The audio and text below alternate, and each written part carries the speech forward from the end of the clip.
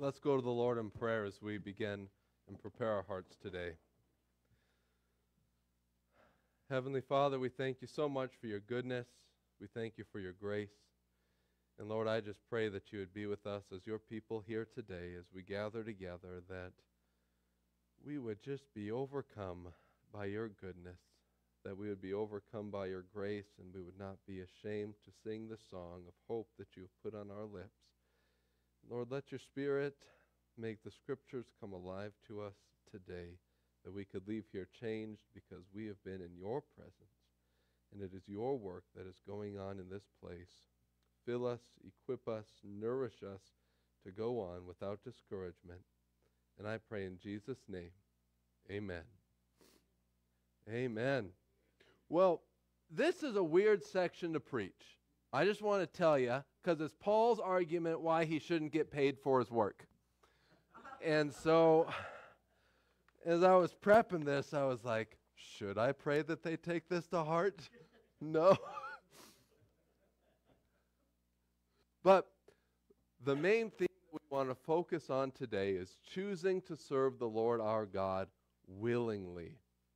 We want to talk about understanding our rights as Christians rightly so that we know what kind of rights we have to give up. What can we abandon of our own rights so that Scripture and the spread of the gospel is not hindered? That was Paul's big concern. Everything that he did. How can I get out of the way so that the spread of the gospel is not hindered? Well, let's get right into it. Let's read and let's talk together.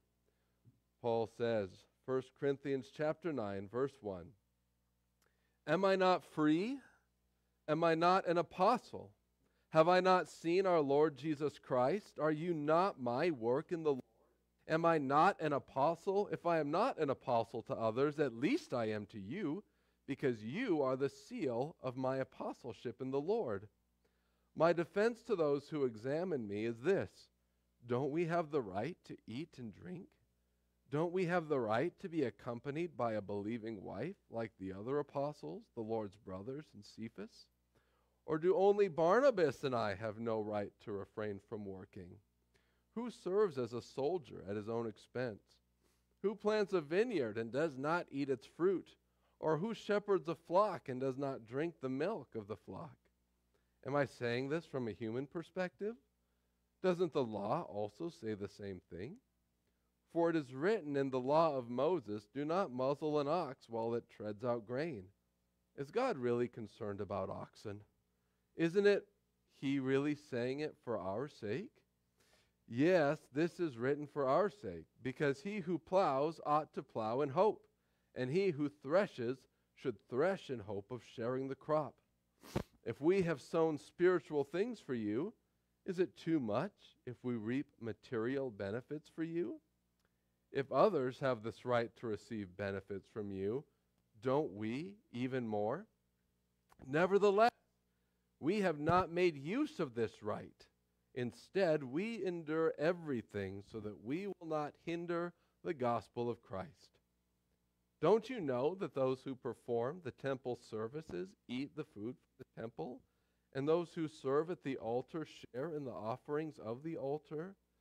In the same way, the Lord has commanded that those who preach the gospel should earn their living by the gospel. For my part, I have used none of these rights, nor have I written these things that they may be applied in my case. For it would be better for me to die than for anyone to deprive me of my boast. For I preach the gospel. If I preach the gospel, I have no reason to boast because I am compelled to preach, and woe to me if I do not preach the gospel. For if I do this willingly, I have a reward, but if unwillingly, I am entrusted with a commission. What then is my reward? To preach the gospel and to offer it free of charge and not make full use of my rights in the gospel. Wow. Okay. I would rather die than be deprived. You know, it's interesting in the in the Greek, his sentence breaks off right there. He says, "It would be better for me to die than let no one deprive me of this boast." Is how the Greek goes. And we have this idea that Paul is so adamant. But I kind of have a pre point that I'd like to make before we get into the application of these verses here is that this passage is a reminder of our need for context, the context of Scripture. Uh, we're reminded that we never in Scripture can take just a selection because if we read this and I just read to you verses 1 through 14 as an appeal for material benefit for preaching the gospel, it would sound really solid. He makes some absolutely knockout points for why ministers ought to get paid from Scripture, from the circumstances of the world. But then we have 15 to 18, and we have to contend with those. We would get the wrong idea. Remember, every verse belongs to a chapter, every chapter belongs to a book, and every book belongs to the Bible as a whole. And we are responsible for knowing the whole counsel of God. We also remember that we need to have both a breadth and a depth of our knowledge of scriptures. While it's great to drill down into a verse or even a word, and that can bear fruit, I'm thinking of like the word for prayer that the Greek uses. Proseuchomai is the Greek word. And it has this almost a military context of forcefully advancing your desires in front of God. It's a really cool word that they use. And it reminds us we're forward facing, pros is to face forward. Am I making some kind of noise here, Jessica? Why is it doing that? I don't know. I don't know why these things happen. And then that euchomai is presenting your your wish or your desire. So that's a cool word. We can drill down into that. But we must never abandon delighting in the whole ocean of God's Word for the sake of examining a single fish. And so that's our reminder today. As we read this, it's important. Context is critical. And that's something that I put a burden on you as the church to do. If as ever I preach and you say, hey, that, that point made sense, but if we consider a larger context, I don't think it was valid. You guys have to be aware of these things. And in fact, that's a reason that I preach the way that I do with the chunks of scripture that I do, that we hit these things and we just don't skip skip over them because they're odd or weird. And so if you ever wonder why does he hit these things that don't seem to apply or don't matter, well, we're just trying to get the full counsel of God. And if you stick with me for a lifetime, maybe we'll get through this whole thing. So, Paul had a Corinthian problem. It's our first point. What is he doing in this letter, suddenly shifting to the matter of material support? It seems just out of the blue. And why would he make such a strong case for it, only to turn around and say, But that's not what I want? Don't misunderstand. I don't want your money. His problem was that he did not receive pay and he began to think, they began to think that he was unworthy of their respect. His other problem that he had was he did not seem knowledgeable enough to them or eloquent enough for them. He just had one message Christ and Him crucified.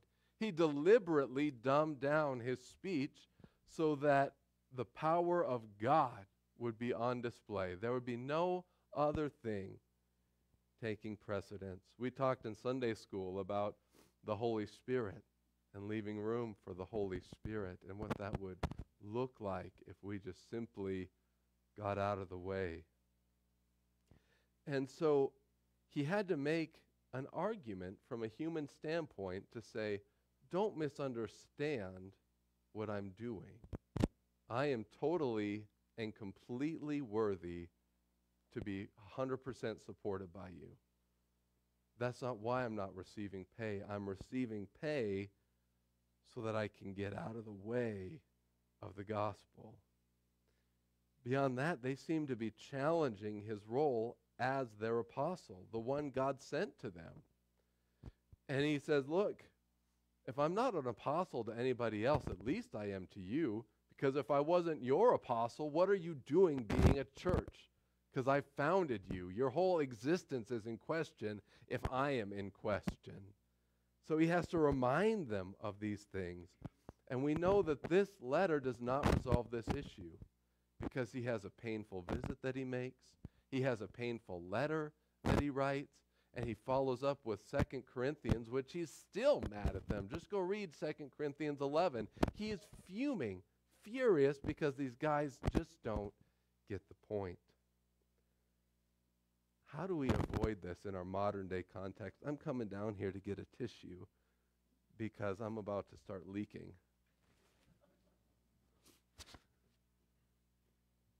How do we avoid this in our modern day context?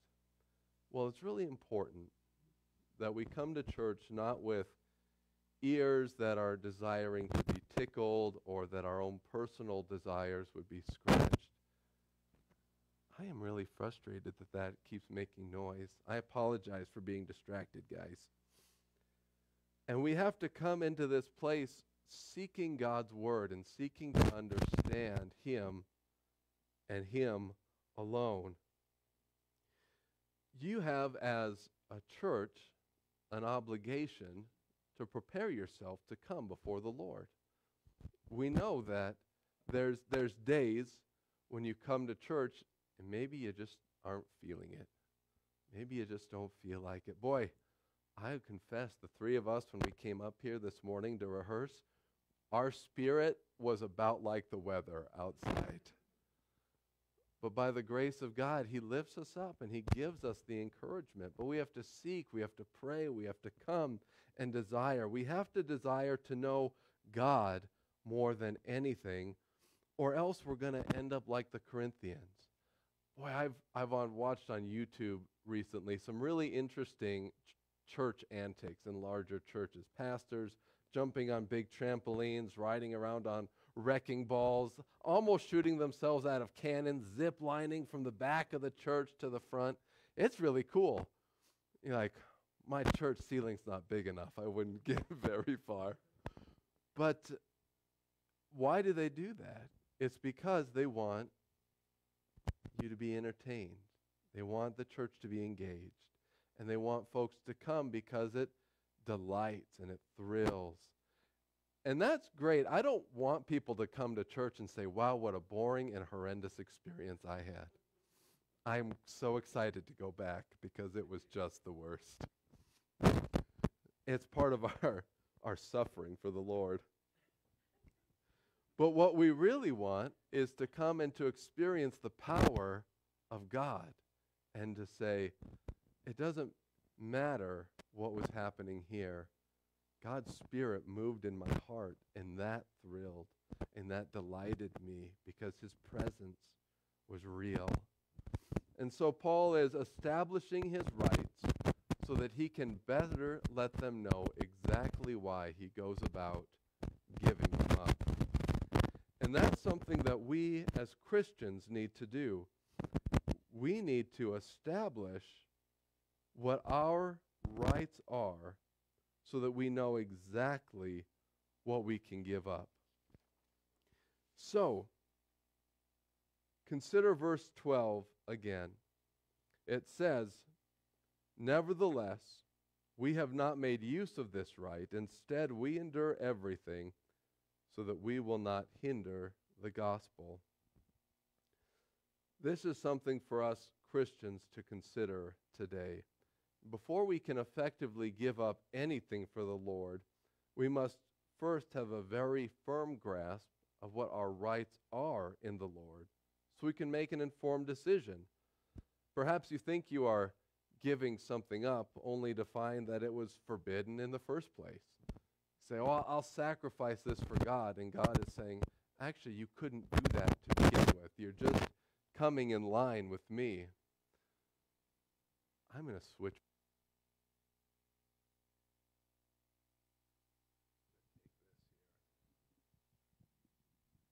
it keeps doing it, then we'll just uh, just suffer. Sorry, sorry.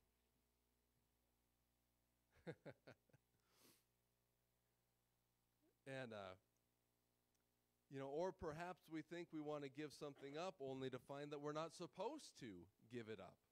Just in our previous section, Paul talked about husbands and wives not depriving each other except by mutual consent and only then for a time.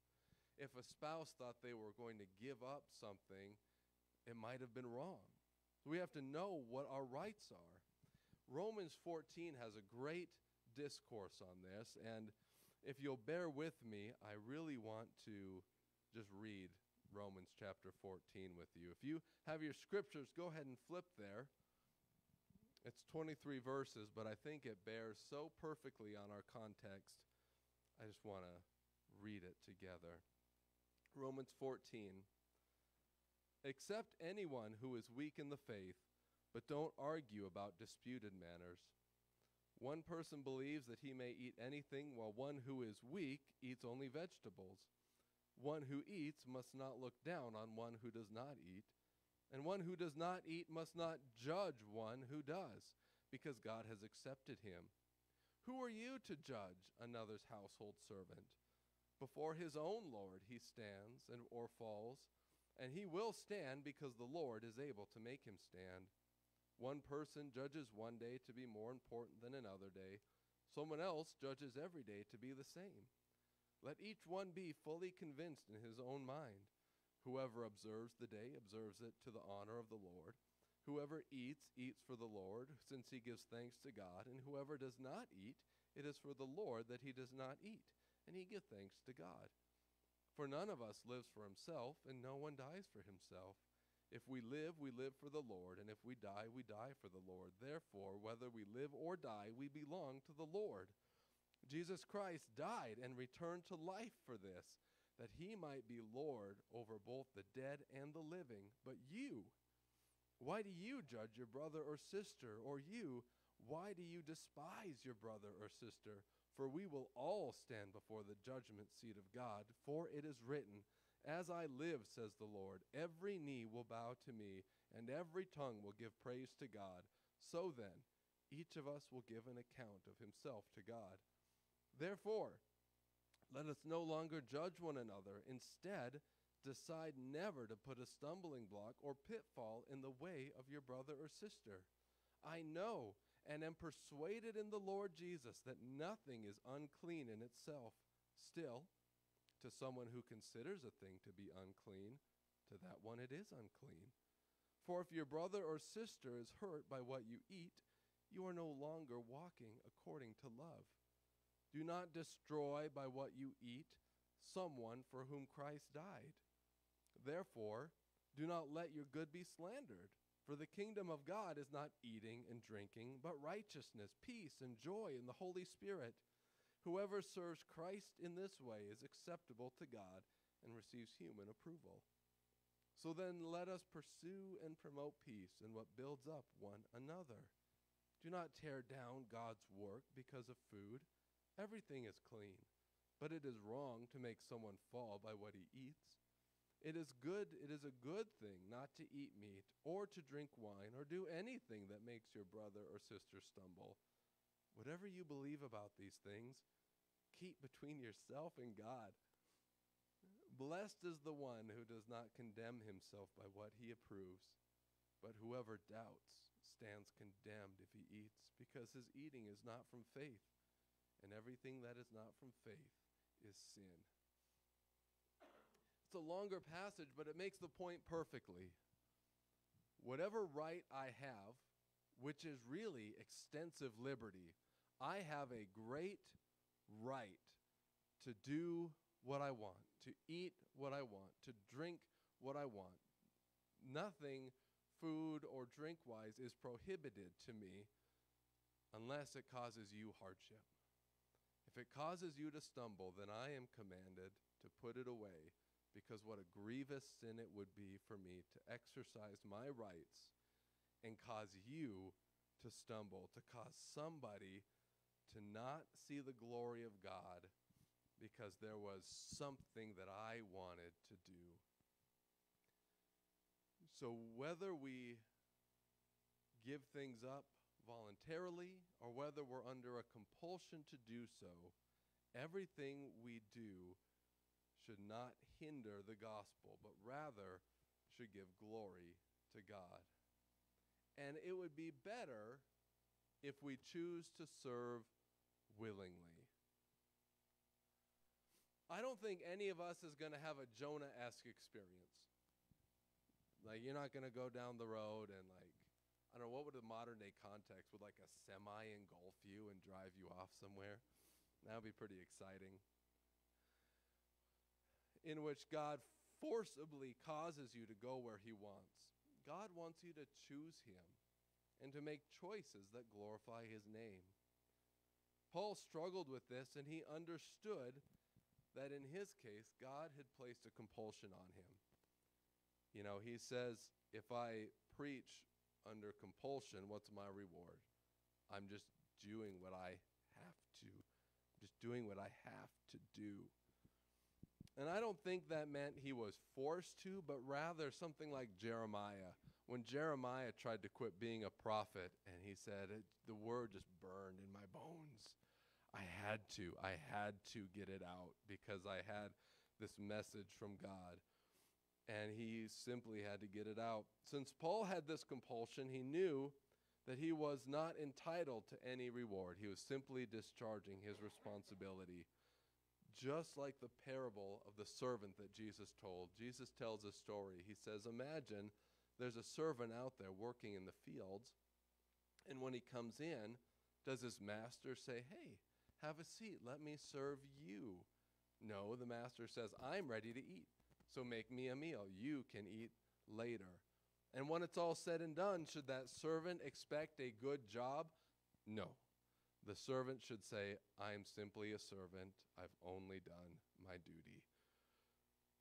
That's not an encouraging parable, but it's a reality of our situation of whatever I do, whatever responsibility I discharge as a Christian, I have simply done my responsibility to God. If God chooses to give me a reward because I have done that, He is all the greater for it. If He does not choose to give me a reward for that, how can I complain? He's given me already the best reward that could ever happen. I have eternal life. It's coming. So, what more could I ask for? But along the way, He chooses to give us good gifts. He says, You can have joy even in hardship, you can have peace even in trials. That's pretty neat. That's pretty remarkable. There's lots of times that Scripture reminds us that we have a choice. Deuteronomy 30:15 Moses said, "See, I have set before you life and prosperity, death and adversity." Make a good choice people. I, and he says later, I encourage you to choose life. Joshua 24 15, he says to the people, Choose for yourselves today which you will worship God or these pagan gods of the land you're going to. Choose wisely. 1 Samuel 8 18, the people have been crying out for a king. And he says, But when that day comes, you will cry out for the king you've chosen for yourselves, but the Lord won't answer you on that day. You will cry out because of the king you've chosen, the Lord won't answer you because you made a bad choice. Isaiah 1 18 to 20. I just want to read this one. This, this is my favorite. Come, let us settle this, says the Lord. Though your sins are scarlet, they will be white as snow. Though they are crimson red, they will be like wool. If you are willing and obedient, you will eat the good things of the land. But if you refuse and rebel, you will be devoured by the sword, for the mouth of the Lord has spoken. And then all the New Testament is nothing but an illustration of the ultimate choice that we have to make. Choose for Jesus or choose against him. There's no gray areas. We're choosing for him or we've chosen against him. Scripture lays out these choices for us very clearly. And when we hear of these consequences that the Israelites went to, it's not that God was forcing them into a choice, but rather showing them the consequences of what choosing against Him looks like. In this matter of our rights, we are called to make a good choice for the Lord. And that may mean willingly giving up our rights so that we can focus on what really matters advancing the eternal kingdom. For what account is it if we give up little things that someone might experience eternal joy? Well, again, this is certainly an odd passage to preach as someone who does actually make my living from the gospel. And it makes me think about my relationship, both with the church and with the resources the church blesses me with and my family with. You know, the big takeaways here are that we can never make a judgment on a minister because of eloquence or charm or charisma.